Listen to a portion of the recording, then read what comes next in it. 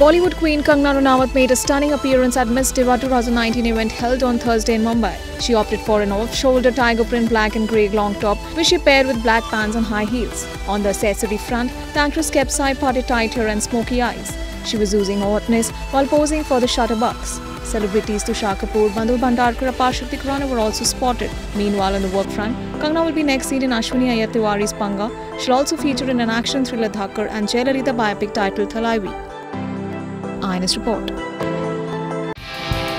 Subscribe to our channel. Just click on the bell icon for all the latest updates.